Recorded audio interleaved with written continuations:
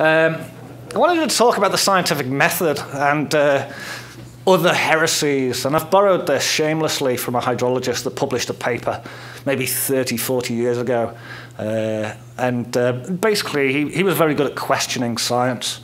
And uh, for that reason, in hydrology, where we have no politics, uh, he was lauded as a fantastic, wonderful, deep thinker. Uh, I don't think I need to tell you that's not necessarily my colleague's view of me, in that we're working in you know climate and climate uh, variability and uh, climate change. Uh, and if in any point in this talk I sound dismissive, it's because I am. so, anyway. Uh, a very often thing you come across in the newspapers or in the media is that uh, they say, well, you know, of course, you know, they have a flood or they have a drought, and they say, well, of course, no single event is attributable to climate change. However, this is the, exactly the kind of thing we would expect to see. Now, I would say that's completely meaningless because it's also the kind of thing we expect to see anyway. Um, Australia has floods and has droughts. And when these things occur, no, no matter how bad they are, there's actually no evidence of carbon dioxide. And uh, they go one step further sometimes and say, well, trends in floods and droughts since 1950. We've been measuring them for about twice as long as that, if not much longer. Uh, they say, well, trends point to a carbon dioxide. There's actually no evidence in any trends either. So it's completely meaningless when you hear these kind of statements in the media. Now I'm going to show a few statements now from the media and from very senior people who should, frankly, know an awful lot better.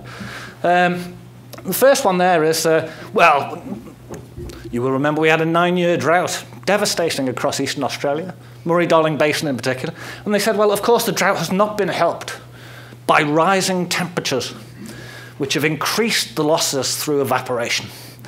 Now, can I say, my, my PhD, uh, okay, I'm in engineering now, my PhD was building land surface evaporation models for global climate models. So I do know a little bit about this. And the reality is, it's completely the wrong way round. When you have a very wet land surface and the sun shines down on it, a lot of the energy goes into evaporating that water. And the remainder goes into heating the air. And so you get lower air temperatures because you've got a very wet land surface. When you have a drought, which by definition means you have very little soil moisture, if, well, let's say you've got none, all of that energy from the sun goes into heating the air temperature. So it's complete confusion of cause and effect. Now, this comment was made by the head of the National Climate Centre at the Bureau of Meteorology, who incidentally has never studied evaporation. Um, he also said it's very difficult to make the case that this is simply just a run of bad luck driven by natural cycle and that a return to more normal rainfall is inevitable, as some would hope. It's very hard to think that. Well, that's only because he's not looked at the climate variability historically. We have decades, multi decadal, 20, 30 year periods where drought dominates. And do you know what happens after that? And I'm embarrassed to say this to a room of Australians. It takes a flood to break a drought, and we get floods. I'm not looking forward to flying to Brisbane tomorrow because there's a tropical low coming in. and I wish we had drought. Another comment, this time from, uh, again, uh, someone from the Joint Bureau and CSIRO uh, division. Uh, in the minds of a lot of people, the rainfall that we had in the 50s, 60s, and 70s was a benchmark, but we're just not going to have that sort of good rain as long as the system is warming up. now, again, I mentioned Brisbane. Poor old Brisbane. Uh, we had widespread floods, not 18 months after he made that, that statement. And then again, 12 months later in the summer. And this year was meant to be an El Nino year, predicted to be an El Nino year. And I don't know how you feel about it. I'm stuck in Tasmania, it's always wet. But I'm seeing a lot of floods coming in. And like I say, up in Brisbane tomorrow, and uh, Cyclone Lam I think, about to hit the north up there. So these are senior, publicly funded, I should add, people who are speculating. And yet the public, or sections of it, take this as gospel. They fear climate change because the experts tell them to fear it. And I think it is really as, as simple as that. Um, I, was, I was talking to somebody just outside. If, if you're a meteorologist and you make a prediction, you've got a duty, you've got a responsibility to make sure that that is absolutely the best information you can give. And when you get it wrong, you say sorry. I don't know if you remember, I think it was the mid 80s. Uh, a British forecaster said, uh, We've had a phone call from Mrs. Cook in Manchester that says there's a hurricane coming. Well, Mrs. Cook, I can assure you there's no hurricane. Behind this guy's head, there's a bloody hurricane. Pardon my French. Pardon my language. There's a town called Sevenoaks. It became Three Oaks. a third of all trees in the country fell down. I don't know if you remember the classic show Allo Allo. Yes, uh, my wife doesn't like it. I love it. Um, the main actor in that got a tree branch through the head. You know? This was a devastating. New Brighton Baths, the biggest outdoor European pool, was washed away. So meteorologists have a responsibility to get it right. If you're a seasonal forecaster and you're making predictions for agriculture, you know that, that these people, their livelihoods depend on it. They depend on accurate information. You couch things with uncertainties. You give the best information you can, and, uh, and you let the people, the agriculturists, make their decisions thereafter. And if they get it wrong, they get flogged. In climate change, you can speculate whatever you like, and when it's wrong, nothing. They'll go and speculate on the next thing. Tim Flannery, even the rain. No, um, I'm actually sorry I've mentioned him now, because I'm going to be talking for an hour. Even the rain that falls will not be sufficient to, uh, to run off or fill the dams. The dams are full. Well, this kind of intense rainfall is exactly the kind of thing we expect from climate change. The worst, arguably, is the most important. Kevin Trenberth heads up, more or less, the science effort, in inverted commas, with the IPCC. And he wrote a paper a couple of years back called Framing the Climate Debate. Now, I don't know about you, but if, if you're going to write a paper about communicating to people, I wouldn't call it framing. Framing. We've been fitted up. How do we frame them? Um, and, but he actually said to, to ask what degree climate change to influence this event is actually to ask the wrong question.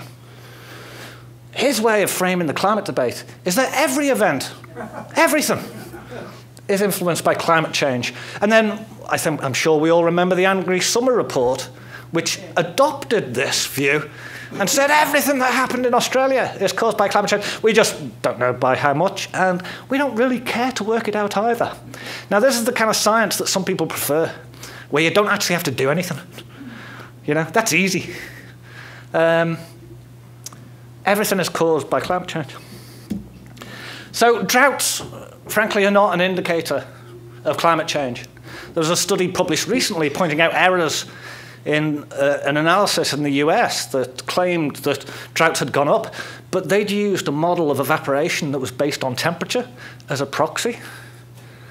Uh, when they used a physical model of evaporation, they found that there in fact was no trend in 60 years in droughts in the US. Droughts are as bad today in the US as they were 60 years ago. Floods are not an indicator. The 1955 Maitland flood sticks out for me, especially as a, being an ex-Wallsend boy from Newcastle. Um, really the last one, it was associated with a strong La Nina. Then they built Wivenhoe Dam and they did all sorts of things. And the rain we get, blah, blah, blah. And then next minute, 2011, we get a flood just as bad as 1974 and as 1955. And in all those La Nina years, this is actually part of the El Nino La Nina cycle, and it's coupled with multi decadal variability, something we call the PDO, the Pacific Decadal Oscillation, which affects just how much we get hit in these tropical years. So we, I guess the point is you can't judge climate change by droughts, can't judge it by floods. Is it even warming? No, doesn't look like it, does it? I've put not last 17 years. The numbers are a bit rubbery, depend on your data set. Is it hiding in the ocean? Hiding in the ocean. Um, I was disgusted. There was a Catalyst show not so long ago, and it said the hottest question in climate science, which they've ignored for 16 years. So I don't see how that's the hottest question. Has been answered by our friend locally, and I'm just scanning the room to make sure he's not come in a false moustache or anything. Uh, Matthew England at University of New South Wales, and he says, uh, well, the reason we have a plateau after denying that there was a plateau 18 months earlier on Q&A, uh, is because of the PDO. Well, I published on that 15 years ago saying we can expect, perhaps, because of the PDO, uh, a, a plateauing, or at least a slowdown in the warming. That's the kind of science I prefer, where you make a prediction and see what happens. What they do is a narrative. It's a story. The models don't work, so they need to find a reason why. So they'll deny the problem until they can think of a narrative, a story. Hiding in the ocean, it's the equivalent, it's the climate science equivalent of the dog ate my homework. and it's not based on observation, it's based on a model. And the problem with models is when you build a model, you actually have a model before you actually ever sit down at the computer. It's called a perceptual model. It's you think what's important.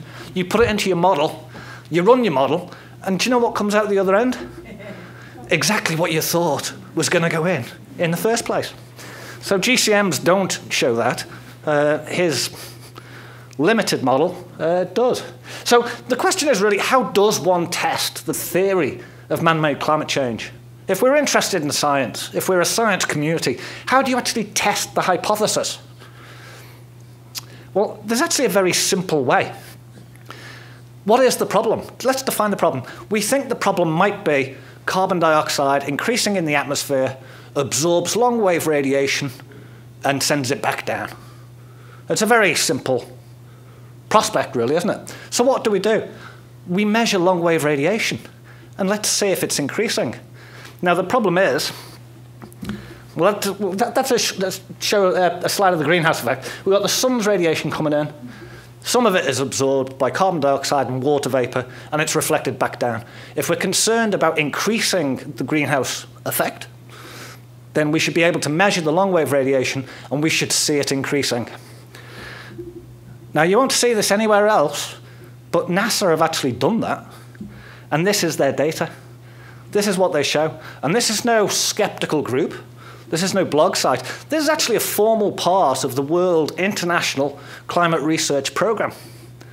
It's part of GEWEX, what we call the Global Energy and Water Balance Experiment. On the top there, we've got in red the incoming solar radiation. Now, that's affected by things like volcanoes, and we can see Mount Pinatubo, a bit of dip there around, was it 92? And that's because the volcano puts out dust, it stops the incoming solar radiation. It's also affected by clouds and changes in clouds, and therefore changes in the oceanography. The blue line there, the rather sedate, flat line, is long wave estimates. This is the greenhouse effect. The black line on the bottom is the difference between the two. And what we actually see there, quite clearly, I think, is a bit of a break point around 1999. I'll walk away from the mic and show you just about there. And it's not due to this, it's due to that. There's a couple of other things to point, point out with the blue line. There is perhaps, as a stretch of the imagination, a trend upwards. There is a minor trend upwards in long wave radiation down, and that is essentially associated, one would expect, following the consensus, with carbon dioxide increases. What you also see is the variability is huge and it's dictated by major El Nino and La Nina events. The top line up there shows nearly twice the amount of variability. It's the incoming solar radiation governed by changes in albedo, the reflectivity of the planet, that creates this trend at the bottom where we have this break in in around 1999. So if we compare that to the global temperature record, and this is one of them, I forget which, possibly GISS, um, we can see that the plateauing occurs around 1999 and pretty much in line where the net radiation, the energy balance between short wave coming in and long wave being reflected down shows a marked break around 1999. Let me just state this very clearly. The heat is not hiding in the ocean. It isn't even getting into the planetary system in the first place. It's being bounced back by changes in cloud cover and changes in albedo. So with that, I'll leave it there. Thank you very much.